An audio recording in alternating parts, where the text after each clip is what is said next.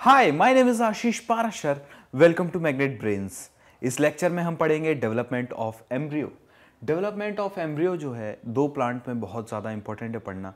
First one is dicot and another one is monocot अगर देखा जाए तो दोनों का डेवलपमेंट काफ़ी कुछ सिमिलर है। कुछ जगहों पे डिफरेंस होते हैं। मैं उन डिफरेंसेस को भी अच्छे से समझाऊँगा। स्टार्ट करते हैं with dicot in angiosperm zygote undergo a resting phase ये लाइन मैंने लास्ट लेक्चर में भी बताई थी, बहुत ज़्यादा इंपॉर्टेंट है, कई बार पूछी गई है कि जाइगोट जो है, एक छोटा सा रेस्टिंग फ़ेज़ अंडरगो होता है, छोटा सा रेस्टिंग फ़ेज़ में रहता है। क्यों? क्योंकि थोड़ा सा एंडोस्पर्म जो है, वो पहले बन जाए, उसके बाद वो डेवलप होना स्टार्ट करेगा। जो फ़र्स्ट डिवीज़न है, अब एक्चुअली में ये सारी चीज़ें जो हैं, वो सारी की सारी आपकी डायग्राम के थ्रू समझने वाली हैं। मैं बस एक बार आपको समझा देता हूँ ताकि आपको चीज़ें क्लियर हो जाए, वरना ये बाकी की सारी चीज़ें सिर्फ़ डायग्राम बेसिस पे है और एक बार में समझ में आने वाली है। आपको इसमें से कुछ भी ऐसा नहीं लगेगा कि टफ है या समझ में नहीं आ रहा। बात ये रहेगी कि हम बेसिक कॉन्सेप्ट से मूव करेंगे। ये वाले डायग्राम अभी ध्यान मत देना। सबसे पहले बेसिक चीज़ों पे ध्यान दो, जो एकदम ही बेसिक होती हैं। फॉर एग्ज़ाम्पल यहाँ पे हम बात करते हैं कि एम्ब्रियो सेक जो है उसका स्ट्रक्चर बाकी सब चीज़ें डिजेनरेट हो जाएँगी फॉर एग्ज़ाम्पल साइनर्जेट एंटीपोडल्स बचेगा क्या? एक बचेगा पूरा का पूरा एंडोस्पम बहुत ही बेसिक बता रहा हूँ, बहुत ज़्यादा कॉन्सेप्चुअल बता रहा हूँ। कॉन्सेप्चुअल जब पढ़ोगे तभी काम बनेगा। यहाँ पे आपका जो था माइक्रोपाइल एंड था इस तरफ़, और यहाँ पे चला एंड था, है ना? तो यहाँ पे माइक्रोपाइल एंड पे ये जो आपका जायगोट है, अब वो एम्ब्रियो बन चुका है, क्योंकि काफ़ी सारा एंडोस्पम बन चुका है तो अब एम्ब्रियो भी बन गया। सबसे पहला जो यहाँ पे इवेंट होता है, वो होता है एक ट्रांसवर्स डिवीज़न होता है और उस ट्रांसवर्स डिवीज़न की वजह से ये नॉर्मल सेल है, ये एम्ब्रियो है, ये यही वाला एम्ब्रियो है, जहाँ पे ये ए लिखा हुआ है। ट्रांसवर्स डिवीज़न होगा और ट्रांसवर्स डिवीज़न से ये एक्चुअली में फ़र्क यही है। अब पता है, हमको बेवकूफ़ बनाने के तरीके इस तरह से होते हैं कि एक तरफ़ तो ये माइक्रोपाइल और चलाजा के फॉर्मेट में हमको बेवकूफ़ बना लेते हैं। फॉर एग्जांपल जिस तरफ़ एम्ब्रियोनल सेल होगा, उसको हम चलाजा एंड बोलेंगे और जिस तरफ़ सस्पेंसर सेल होंगे, उसको हम माइक्रोपाइल फॉर एग्जांपल ये माइक्रोपाइल एंड है तो इस तरफ़ का जो सेल बनेगा, दूसरे कलर से लिख देता हूँ। इस तरफ़ का जो एक सेल बनेगा, उसको हम इस तरफ़ का जो सेल बनेगा, उसको हम सस्पेंसर सेल बोलेंगे और ऊपर का जो सेल बनेगा, इसको हम एम्ब्रियोनल सेल बोलेंगे। ये चीज़ समझ आई ना? सवाल उठता है, सर, क्यों? ये चीज़ आपको कैसे समझ आई? एक्चुअली में टर्मिनोलॉजी में हमको फंसने की ज़रूरत नहीं है, मैं बताता हूँ डायरेक्ट कॉन्सेप्ट क्या होता है? यहाँ एंडोस्पम है, पूरे इस एरिया में क्या है? एंडोस्पम और एंडोस्पम हमको किसको देना है? एम्ब्रियो को। तो ऑब्वियस सी बात है, जो एंडोस्पम की तरफ़ डिवाइड होगा, उसी को एंडोस्पम की तरफ़ जो डिवाइड होगा, उसी को हम एम्ब्रियोनल सेल बोलेंगे, क्योंकि उसी को फ़ूड की ज़रूरत है। ये चीज़ समझ आए बहुत ही बेसिक कॉन्सेप्ट एक सेल है डिवाइड होना था। क्या बोला मैंने? एक सेल है डिवाइड होना था। ठीक है? बहुत बेसिक कॉन्सेप्ट से काम करेंगे हम। कोई जल्दबाजी नहीं ये एक सेल है, इसको डिवाइड होना था। ठीक है? ये ये वाला। इसको डिवाइड होना था। तो अब पूछा ये है कि एक सस्पेंसरी होगा, एक एम्ब्रियोनल होगा। कौन सा सस्पेंसरी कौन सा एम्ब्रियोनल मैंने बोला, ये एम्ब्रियोनल है और दूसरा सेल सस्पेंसरी होगा। कारण ये है, एम्ब्रियोनल जो है, उसी को हमको खाना देना है तो वो एंडोस्पम की तरफ़ डिवाइड होगा और ये ऊपर चलता जाएगा। तो ये बहुत ही बेसिक सा कॉन्सेप्ट है जिसको आप समझ सकते हो। ट्विस्ट यहाँ पे ये होता है कि ये लोग जस्ट इसका उल्टा बना देते हैं डायग्राम चलाजा वाले को इनने नीचे बना दिया और माइक्रोपाइल वाले को ऊपर बना दिया। तो बच्चे जो है, ये डायरेक्शन में कंफ्यूज हो जाते हैं, वो हमेशा परेशान रहते हैं। तो इसलिए मैं मना करता हूँ, ये वाले डायग्राम इस तरह से मत देखा करो। देखने का तरीका बेसिक कॉन्सेप्ट लगाओ। तो देखो अब क्या होगा। अब सेम वही प्रोसेस होगी जो यहाँ पे दिखाई हुई हैं। बस आपका जो डायरेक्शन है, वो थोड़ा सा इस तरह से आपको समझना फॉर एग्ज़ाम्पल मैंने ये बोला कि डिवीज़न हो गया। डिवीज़न होने के बाद दो सेल बनेंगे। लेकिन ये दोनों सेल आपस में डिवाइड नहीं हुए डिवाइड मतलब समझ रहे हो ना? आपस में अलग अलग नहीं हुए ऐसे चिपके हुए ये वाली सिचुएशन नीचे का जो सेल है एक्चुअली में और एकदम ही बेसिक से अगर मैं चालू करूँ, बहुत ही ज़्यादा बेसिक से, मेरे ख्याल से आपको ये समझ आ गया होगा। तो थ्योरीज चालू करते हैं, क्योंकि ऊस फेयर बनाना पड़ेगा, आपको चीज़ें समझानी पड़ेगी। तो बेसिक स्टार्ट करते हैं। तो सबसे पहला जो सेल बनेगा एक्चुअली में क्या था? जो एम्ब्रियोनल जाइगोट था ना जाइगोट एम्ब्रियो बना। एम्ब्रियो बनने के बाद वो थोड़ा सा फ़ूड उसने एब्जॉर्ब किया और स्वेल हो गया। क्या बोला मैंने? जो एम्ब्रियो बना, अब ये मैं शुरुआत से पूरी चीज़ समझा रहा हूँ।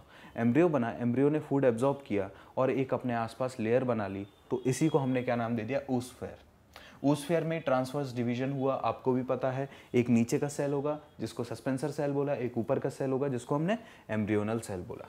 ठीक है? नेक्स्ट अब दोबारा से डायग्राम पे आते हैं। ये बेसिक खत्म हो गया, दोबारा से डायग्राम पे आते हैं। क्योंकि पूरा का पूरा कॉन्सेप्चुअल है, पूरा का पूरा डायग्राम बेस्ड है। तो कुल मिला के नेक्स्ट जो स्टेप होगी, उसमें क्या होगा? अब इसका मुझे डेवलपमेंट करवाना है। अब इसका मुझे क्या करवाना है? डेवलपमेंट क्यों? क्योंकि जो एम्ब्रियो सेल है, जो एम्ब्रियो वाला सेल है, ये वाला, इसको फ़ूड चाहिए। इसको फ़ूड चाहिए तो ये और आगे ग्रो करेगा और आगे बढ़ेगा। सबसे बड़ी प्रॉब्लम मेरी यही रहती है हमेशा कि इनका जो डायग्राम है, ये अगर सीधा बना होता तो मेरे ख्याल से चीज़ें ज़्यादा आसान होती, बजाय कि यहाँ पे इतना कॉम्प्लेक्स बनाने के। ठीक है? तो अपन आगे अपना पढ़ना स्टार्ट करते हैं। क्या होगा? आसपास का जो एम्ब्रियो है, वो धीरे धीरे खत्म हो रहा होगा। यहाँ पे नीचे का जो सेल है, ये एक्चुअली में एक स्पेशल स्ट्रक्चर गेन कर लेगा। ये सस्पेंसर सेल था ना? मुझे कैसे पता ये सस्पेंसर क्यों? क्योंकि मैं ये माइक्रोपाइल और इसको चलासा बोल रहा हूँ। ठीक है तो ये सस्पेंसर सेल था ना। यही थोड़ा सा एक बोलते नहीं, क्योंकि इसको बेस बनाना है तो थोड़ा फैल गया थोड़ा सा क्या हो गया? फूल गया। और इसी को मैंने हॉस्टल बोला, जो कि यहाँ पे लिखा है ना हॉस्टल सेल इसी को मैंने हॉस्टल सेल का नाम दे दिया। क्यों? क्योंकि ये वही सस्पेंसर सेल है जो हल्का सा बस फूल गया है दैट्स इट आपका दोस्त अगर फूल जाए, मोटा हो जाए तो रहेगा तो आपका ही दोस्त। नेक्स्ट जो एम्ब्रियो है, वो मैं दूसरे कलर से बनाता हूँ। ये बहुत अच्छा रहेगा कि आप दूसरे कलर से देखो इसको। ये रहा एम्ब्रियो ठीक है? ये डेवलप होता जा रहा है। ये जैसे जैसे ऊपर चलता जा रहा है, पूरा एंडोस्पम जो है अपना कंज्यूम करते जा रहा है। सस्पेंसर सेल का इकलौता काम है कि जो एम्ब्रियो है, उसको फ़ूड तक पहुंचाना। सस्पेंसर सेल का इकलौता काम है, जो एम्ब्रियो है, उसको फ़ूड तक पहुंचाना। और आप देख रहे होगे सस्पेंसर सेल में लगातार डिवीज़न हो रहा है। ये आपका एम्ब्रियो वाला पोर्शन है। जो वायलेट कलर से और ये हॉस्टल सेल जो कि बेस बना रहा है, ठीक है ना? ये बेस है। ये बेस है, ये भी बेस है और ये भी बेस है। ये चीज़ समझ आई? बहुत बेसिक सी चीज़ है। ये जो है, ये फ़ूड एब्जॉर्ब करता जा रहा है और डिवाइड होता जा रहा है। सवाल ये उठता है, सर, ये बताओ सस्पेंसर सेल में डिवीज़न कैसा होगा? एम्ब्रियोनल सेल में डिवीज़न कैसा होगा? मैंने बोला सस्पेंसर सेल में जो डिवीज़न होगा, वो ट्रांसवर्स होगा। आपने पूछा, सर, क्यों होगा ट्रांसवर्स कॉन्सेप्ट समझाओ। ट्रांसफर्स होने का कारण ये है कि आप ध्यान से देखो, ट्रांसवर्स मतलब ऐसा ऐसा डिवीज़न। नंबर ऑफ़ लेयर बढ़ानी नंबर ऑफ़ लेयर बढ़ाने से क्या होगा? दो सेल डिवाइड होंगे, चार हो जाएँगे डिवाइड होंगे, आठ हो जाएँगे डिवाइड होंगे, सोलह हो जाएँगे। यही काम तो करना है। और यहाँ पे भी देखो ट्रांसफर्स डिवीज़न हो रहा है तो ऐसी लेंथ बढ़ती जा रही है। और ऐसी बढ़ाने का फ़ायदा क्या है कि एम्ब्रियो को पूरा फ़ूड मिलते रहना चाहिए। ये चीज़ समझ आई ना? लेकिन एम्ब्रियो में कैसा होगा? एम्ब्रियो में डिवीज़न होगा वर्टिकल एम्ब्रो में डिवीज़न कैसा हो ऐसा वर्टिकल वर्टिकल डिवीज़न होगा तो उससे क्या होगा? ये देखो, देख रहा है ना? वर्टिकल डिवीज़न हो रहा है। यहाँ पे मेरे ख्याल से आपको डायग्राम उतना क्लियर नहीं होगा। नहीं तो ये वर्टिकल और इस टाइप का डिवीज़न होता है। ठीक है ना? तो मेनली वर्टिकल डिवीज़न होगा और ये ऐसा फूलता जाएगा, पूरा ऐसा गोल गोल होता जाएगा। जो नेक्स्ट स्टेज होगी, इसके जस्ट बाद वाली, इसके जस्ट बाद वाली। अब क्या होगा? आसपास के जो इसका फ़ूड मटेरियल है, वो ख़त्म हो रहा है। क्यों? क्योंकि आसपास का तो उसने पूरा कवर कर लिया है। ठीक है? ऐसा गोल स्टेज थी और गोल स्टेज में इसने आसपास के अपने पूरा खत्म कर लिया। तो अब ये क्या करेगा? क्योंकि ये डायकॉट है। ये मत भूलना, ये क्या है? डायकॉट यानी कि दो कॉटिलेडन तो अब ये एक एक लोकेशन से बाहर निकलना चालू करेगा। तो ये सब बिल्ली जैसा नहीं दिखेगा। थोड़ी देर बाद जस्ट थोड़ी देर बाद हार्ट शेप दिखना चालू हो जाएगा। जस्ट थोड़ी देर बाद, ये हार्ट शेप दिखना चालू हो जाएगा। और जो हार्ट शेप दिखेगा, वो कुछ ऐसा ऐसा दिखना चालू हो जाए, ठीक है ना? तो ये देख रहे हो, हार्ट शेप स्टेज आ रही है एम्ब्रियो की, और उसका आने का कारण ये है, क्यों? क्योंकि ये एम्ब्रियो जो है वो डायकॉट है। तो दो कॉटिलेडन होने इस वाले एरिए को हम प्लूम्यूल बोल देंगे, ठीक है? और ये दो उसके कॉटिलेडन।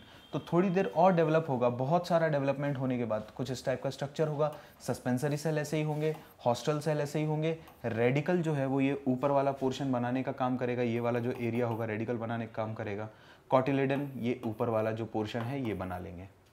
नेक्स्ट अगर आपसे कोई सवाल पूछे, क्योंकि इस सेल के ऊपर एक बार सवाल आ गया था, इसको हाइपोफिजियल सेल बोलते हैं, ठीक है? यहाँ पे शायद लेबलिंग भी होगी इधर ही कहीं। नहीं होगा तो वहाँ पे लिखा होगा, ठीक है? तो ये बेसिक सी चीज़ होती है जो आपको एटलीस्ट आनी चाहिए।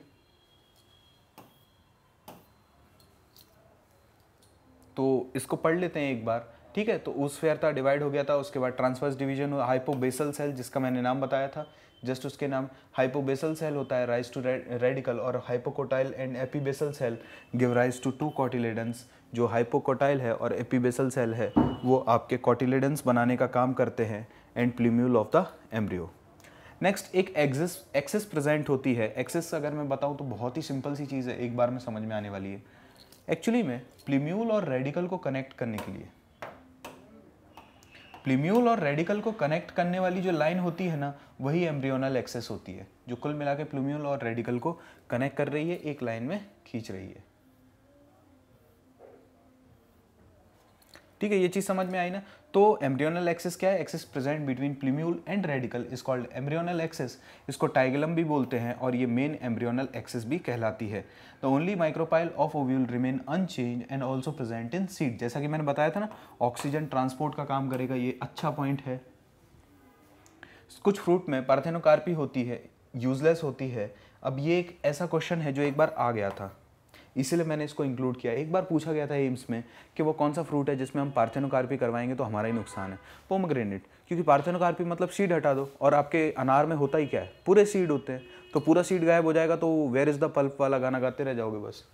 तो ये चीज़ समझ में आई ना? अगर किसी फ्रूट में सिर्फ़ सीडी सीड है, और उसी को खाया जाता है, जैसे अनार तो आप पार्थेनोकार्पी करके उसके सारे सीडी हटा रहे हो, उसके बीजे ही हटा रहे हो तो उस फ्रूट में कुछ बचेगा भी नहीं।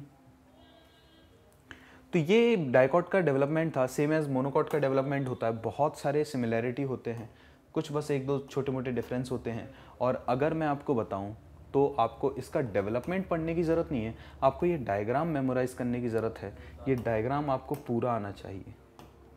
जो मोनोकॉट का डायग्राम है, ये पूरा आना चाहिए। पता नहीं, पचासों बार ये पूछ लिया गया है कि मोनोकॉट के एक कॉटिलेडन का नाम क्या है दैट इज़ स्कूटलम या फिर ये पूछ लेते हैं कि ग्रास के कॉटिलेडन का नाम बताओ।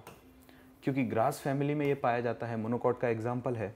पचासों बार क्वेश्चन आया। एक सेकंड इसका कॉटिलेडन है जो इल डेवलप होता है दैट इज़ एपीब्लास्ट तो ये डायग्राम अल्ट्रा इंपॉर्टेंट है एनसीईआरटी का डायग्राम है, पचासों बार आ चुका है। यहाँ तक आप देखोगे सारी चीज़ें सेम है। बस फ़र्क इतना होगा कि ये जो प्ल्यूम्यूल और कॉटिलेडेंस हैं, ये प्ल्यूम्यूल इस टाइप से कुफ बहुत ज़्यादा डेवलप हो जाएगा, जो एम्ब्रियो है वो बहुत ज़्यादा डेवलप हो जाएगा। दो पार्ट्स में डिवाइड नहीं होगा, क्योंकि ये डायकॉट नहीं है। बाकी इसमें कोई खास डिफरेंस देखने को नहीं मिलेगा। छोटे मोटे डिफरेंसेस रहते हैं मोनोकॉट के अंदर और डाइकॉट के अंदर डेवलपमेंट में। आपको अगर मैं पर्सनली सजेस्ट करूँ तो मोनोकॉट का डेवलपमेंट नहीं पूछा जाता है, मत याद करना। यहाँ तक का डेवलपमेंट पूछा जाता है। ये भी पूछा जाता है कि हार्ट शेप एम्ब्रियो किसमें मिलता है? तो हार्ट शेप एम्ब्रियो डाइकॉट में मिल रहा था ना, जैसा कि मैंने बताया था आपको। हार्ट शेप एम्ब्रियो डाइकॉट में मिल रहा था तो ये क्वेश्चन बहुत ज़्यादा इंपॉर्टेंट है। मोनोकॉट के ऊपर सिर्फ़ ये स्कूटलम और उसका जो एम्ब्रियोनल सीड है सीड की अगर मैं बात करूँ प्रॉपर तो उसके ऊपर क्वेश्चन आता है। इनसे रिलेटेड कोई भी क्वेश्चन नहीं बनता है। ये दोनों का एक कंपैरिजन डायग्राम ये दोनों डायग्राम आपको पूरे के पूरे याद होने चाहिए। अब पोस्ट फर्टिलाइजेशन कौन सी चीज़ किसमें डेवलप हो जाती है? इंपॉर्टेंट है, कई बार पूछी गई है। जैसे कि ओवरी फ्रूट बनाता है ओव्यूल सीड बनाता है ओवरी की वॉल पेरिकार्प पेरिकार्प फ्रूट के ऊपर की वॉल इंटीग्यूमेंट सीट कोट बनाते हैं, आउटर टेस्टा बनाता है, इनर टैगबन बनाता है। न्यूसिलस मोस्ट इंपॉर्टेंट डिजेनरेट हो जाता है, लेकिन जिसमें प्रेजेंट है पेरिस्पम जिंगा बरेसी ब्लैक पेपर बीट याद है ना? एक्सेल एम्ब्रियो बनाता है सेकेंडरी न्यूक्लियस एंडोस्पम बनाता है सनर्जेड एंडीपोडल डिजेनरेट हो जाते हैं चलाजा और हीलम जो है, वही रहते हैं फोनिकल जो है स्टॉक ऑफ़ द सीड और माइक्रोपाइल माइक्रोपाइल ही रहता है। तो ये दोनों चीज़ें याद होनी चाहिए आपको। नेक्स्ट कौन कितनी प्लॉइडी लेवल का है, ये इसलिए इंपॉर्टेंट है क्योंकि कई बार प्लॉइडी लेवल के क्वेश्चंस आने लगे हैं, पूछने लगे हैं आजकल रिसेंट है। जाइगोट टू एन होगा एम्ब्रियो टू एन होगा एंडोस्पम टू एन होगा। समझने वाली बात ये है कि सिर्फ़ एक एंडोस्पम है जो थ्री एन है, ठीक है? और उसका भी कारण मैं आपको समझा चुका हूँ। तो सिर्फ़ एंडोस्पम थ्री एन है, बाकी ये जितने भी स्ट्रक्चर लिखे हुए हैं, ये आप खुद नोट कर लेना, ये सारे के सारे स्ट्रक्चर टू एन होंगे। क्योंकि ये प्लांट का पार्ट है, इसलिए टू एन होंगे। एंडोस्पम के साथ ट्रिपल फ्यूजन हुआ था, इसीलिए वो बाकी आप मेल गैमिट देखो सैनर्जिट देखो, एंटीपोडल्स देखो, एक्सेल देखो, पोलर निकलियाई देखो, सारी चीज़ें मैक्सिमम जो है एम्ब्रियोसेक वगैरह, ये सब एन है। पोलर निकलियाई जो है एन प्लस एन है, क्योंकि दो होती हैं पोलर निकलियाई इसीलिए। तो ये भी आप खुद नोट डाउन कर लेना, बहुत सिंपल है, बहुत ईजी है। तो आई होप आपको ये वीडियो पसंद आया होगा। अगर पसंद आया तो ज़रूर लाइक करें। Thank you